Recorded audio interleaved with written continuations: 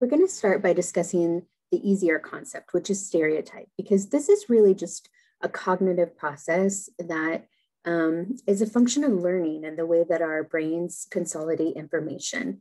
And so this is maybe the least um, emotionally triggering of all of the um, processes that we're going to discuss. So let's start by defining it. And I'll go through this a little bit quickly because you have the learning module that um, repeats some of the information. Um, but stereotypes are the characteristics associated with a group and its members, often through overgeneralization. So it's more about concepts versus feelings or um, behavior. It's just associations in our brain. So some of the relevant neuroanatomy um, related to stereotyping is your temporal lobe and your prefrontal cortex. So you are familiar with those um, parts of the brain by this point. But this lecture, we're going to um, get a little bit more specific in terms of specifying which part of the temporal lobe we're talking about, which part of the prefrontal cortex. Um, but in general, if you are not like a pre-health um, student, you don't have to memorize these. Um, it's just for also making this whole talk a little bit more legitimate, right? Because we like that biological information, that it's true. Um, so the temporal lobe is involved in the semantic or episodic memory. Prefrontal cortex is involved in your categorical thinking. Um, it considers bits of information, it looks for patterns, it chooses a strategic action, and that action often involves the inferior frontal um, gyrus. So even when we're talking about stereotypes and we're talking about just like associations, even the neural connections in our brain are associated with like thinking about behaviors, planning out behaviors, because really stereotypes are kind of a protective mechanism, right? Um, if we see this particular item that's associated with this particular danger, we need to avoid that, right? So it's all about trying to figure out easy strategies um, of what to do or how we should respond in a, in a situation.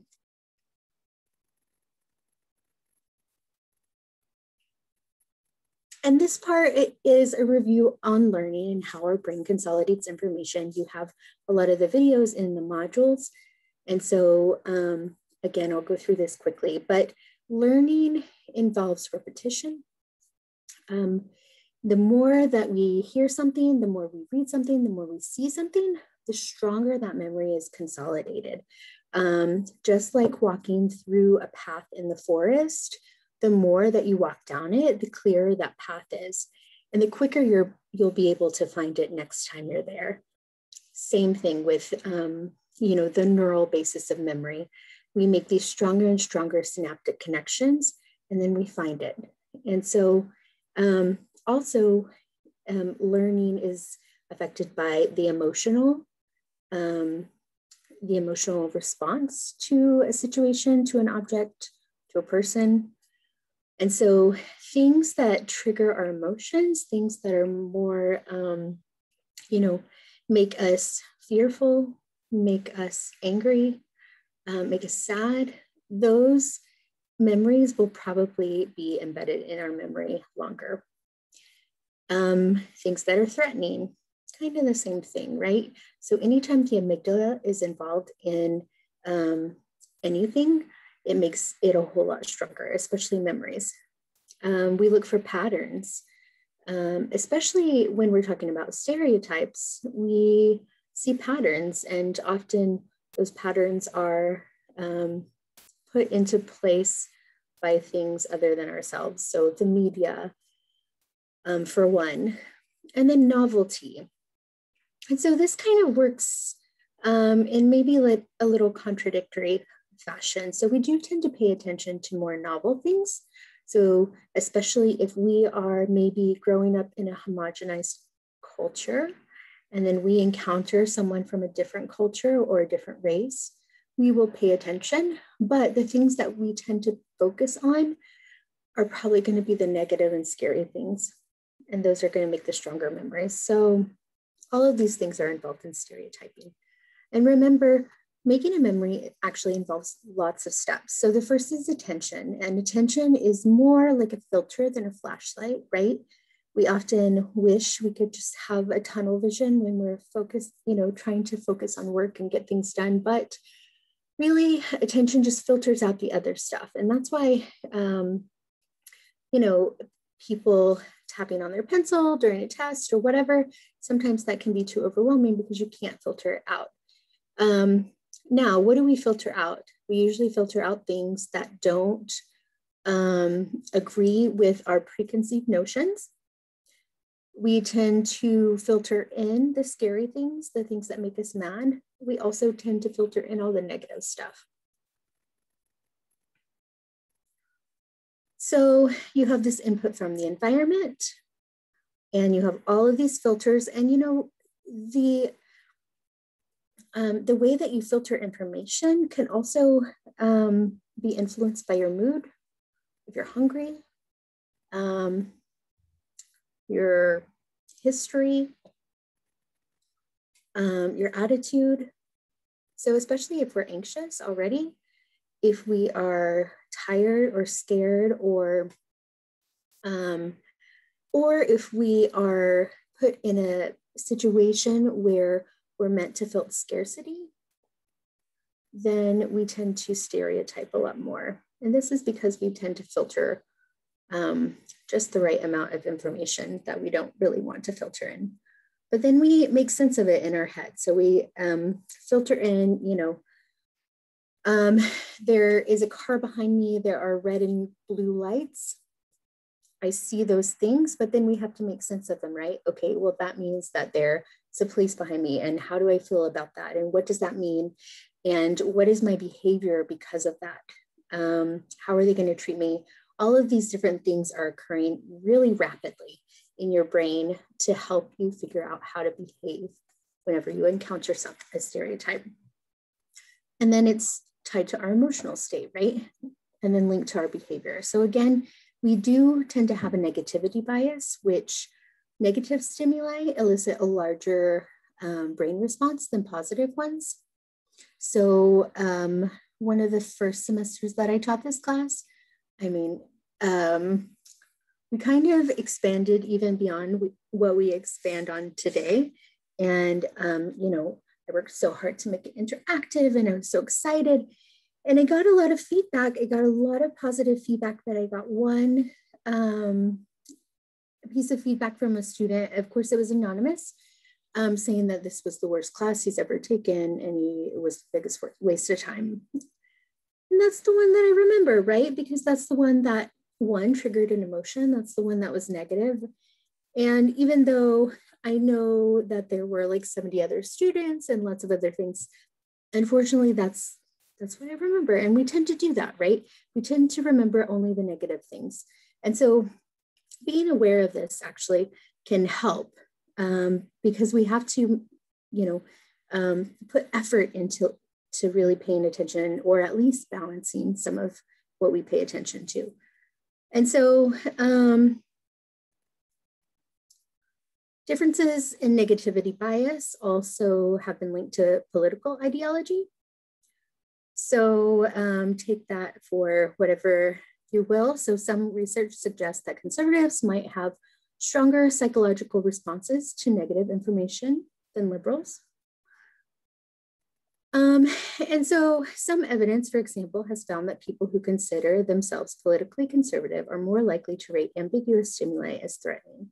And so we're going, going to get into this whenever we talk about even facial processing, but um, is this a function of political ideology? Probably not. It's probably more of a function of, you know, the um, uh, how motivated they are to check that bias because we all actually probably have this negativity bias and really you can even push more politically um, liberal people into um, fearing or into focusing on that negativity um, on the negative um, aspects.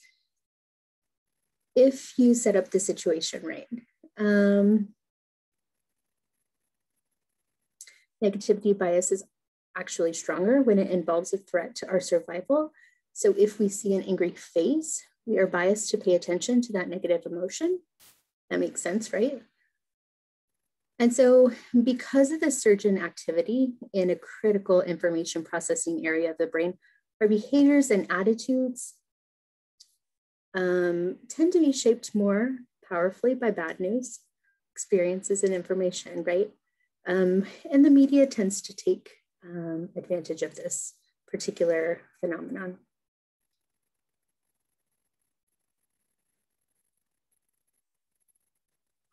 So remember, you do have different forms of memory. You have the short-term memory, you have long-term memory, you have long-lasting memory, like the really long-term memory. You have procedural memory and, and motor memory, emotional memory. And all of those things actually get sent to different parts of the brain. So the hippocampus is definitely involved in consolidating um, memories to long-term memories, but the amygdala really helps. And also, um, if your stress response system is activated and everything, um, all the chemicals involved in that, those actually help strengthen your um, memory too. And that's probably a function of survival, right? Um, but it's very unfortunate when we're talking about stereotypes. So again, we have learning, we have um, repetition, emotional um, salience, threatening patterns, and novelty. So our, our brains are programmed to pay attention to the unusual um, and the categorization that exists um, or the categorization that happens is actually associated with um, knowledge that already exists. So we're looking for patterns so we can reinforce some of those pathways that we've already um, laid down. And then it gets put into different places in the brain it, again. And so remember, we consolidate memories into groups and we tend to link these groups. And that's why whenever you can't think of the word, uh, you start thinking of words that are kind of associated with it, even if it's rhyming or um, it's the same shape or color or whatever, because those have connections in your brain because you've put them in a similar category and eventually you get to the word you're trying to think of. Um, unfortunately, we do this with people too and, and social groups. So this video is actually in the module, so I will skip it for now, but you should watch it. and it is about schemas. Um, schemas are exactly what we already said. These like categories, these groups in, in our brain. Um, and so you sense something, you pay attention to it. It maybe stimulates you in a physical way, in an emotional way. You recall the information from your memory, you activate the adequate schema, and then you respond and so again, all of these stereotypes, even though we're just talking about the cognitive constructs, um, they are related to um, how we plan to act. Then the other thing to know is priming. So neurons that fire together wire together. So um, if you remember, uh, if your only exposure to a certain social category is associated with a certain dress type, a certain um, music type, a certain emotion, then when you see someone in that category or hear someone or hear the music or see someone wearing those clothes, or if that emotion is triggered, everything else tends to get triggered too. And um, the psychological tests that show this concept of priming are pretty cool. So um, even though the stereotyping is not. Um, if you are going to a um, interview and you hand the person a warm cup of coffee or warm tea, um, it is more likely that they will rate you as warm and friendly because of the schemas and because of this priming effect. if you hand them a cold drink or if they're holding a cold drink, it's more likely that they are going to um, perceive you as cold and unfriendly.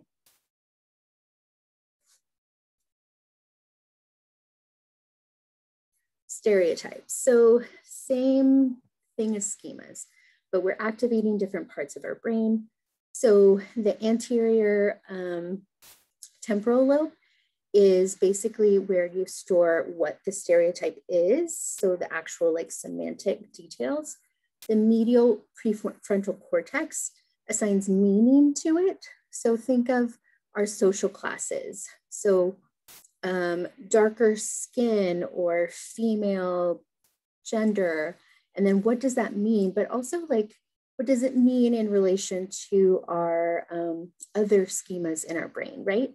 And then the inferior frontal gyrus is associated with planning behaviors in response to that stereotype. And a lot of times this is about either avoidance, right? Like survival behaviors or um, engagement, especially if um, it is a beneficial stereotype or a beneficial social group or whatever, right? Um, but race as a category, as a social category, tends to have a different valence than other groups. So, um, and remember, the people who are being studied in these research, um, you know, articles are part of usually the US or UK, some kind of Western culture um, where race, you know, means something significant. And so, um, interestingly, Williams syndrome, um, is a neurodevelopment disorder we've talked about before. And there's an absence of social fear, which is interesting because even though we haven't brought in um, the prejudice part of that, which is the emotional response to the stereotype, um, in a syndrome where they don't have social fear, they do have intact gender stereotypes, but they don't make racial stereotypes for some reason. And so that probably says more about our culture than the actual syndrome, but um, interesting observation nonetheless. So again, this is just another model of the learning and memory system by which we um, create these stereotypes. And this social, social categorization occurs really, really rapidly. And I have a different slide that I'll show you in a, in a little while, but really be, before we've even processed what we're seeing, we have already categorized what we're looking at in terms of social status, in terms of gender and sex and power, that happens very quickly. Um, and we tend to have this um, kind of like radial grouping, right? Just like we saw with our memory categorization or our schemas, right? We also have that with social categories. Um, and so we look at something and we analyze it and we group it and we see if it fits in the groups that we've already made in our head. And this is just basically what stereotyping is. We do tend to um, use both positive and negative stereotypes, right? And some people have the perception that, well, maybe negative or positive stereotypes don't really um, have a negative impact, but they do. They actually, um, both, both kinds of stereotypes can affect targets' emotional and psychological states, um, and also others' judgments of them, because if they don't fit well within that stereotype, then where do they exist? And there's like this kind of depersonalization, you know, I just don't fit into that group, whatever. And it can cause significant distress, but it can also objectify people, right? Even if we think it's a good stereotype, it's probably something, um, you know, more negative underlying it. And then interestingly, the way that we um, make even these positive stereotypes really is a function of the perceived threat that the dominant group feels. And so um, there tends to be these um, positive stereotypes. So like for warmth or competence, um, you usually don't have a positive stereotype for both of them. Usually a positive stereotype means that you're probably gonna have a corresponding negative stereotype. And so if that's all you need to just avoid the positive stereotypes, then do it. Um, stereotypes affect behavior, and this is also in the module, so I'll just go through it really quickly. Um, even for the group, so a stereotype threat, um, when we are thinking of the stereotype, sometimes like it's too distressful and our performance um, wavers because of it. And it also depends on um, how sly the researchers are um, about uh, bringing up the stereotype. So in all of these studies, they don't, um, usually they don't explicitly bring it up. They usually prime with something that they know is associated with a certain social category. And that's how they prime for like, a, remind people of stereotypes. So um, Asian American women took a math test. Um, and so Asians, the positive stereotype is that they're really good at math, but for women, um, it's actually a negative stereotype. Um, and the belief is that they're bad for math. I know that when I was younger, I remember, um, you know, there were articles and headlines about how math, how girls just don't have math genes. And that's what I grew up thinking. Um, and so that was just a given, right? And so we have these social categories and these associations that are strongly connected throughout our life because we hear them over and over. And then that affects our behavior. So um, Asian American women took a math test. Those who were primed to think about their racial identity did better than those who were primed to think about their gender. Um, African Americans did worse on tests when priming, after priming, especially when paired with an examiner of a different race. And in the notes section of the slides, I have links to the article. So if you're interested, you can read more about this. Um, but this is the um, stereotype threat um, for African Americans, especially when they were paired with um, someone um, was white or not African American or Black. So when they weren't reminded of the stereotype, here's the test score, and then look when they were. Significant decrease. Um, and it was particularly, um, you know, large whenever they, uh, the person giving the test was white. So here we go. So what can we learn from this? Well, um, anytime that you ever take a standardized test, including an IQ test, um, SAT test, eighth grade, third grade, whatever kind of standardized test. Think of the bubbles that you fill in before you take the test. It's usually your name, it's usually your, race.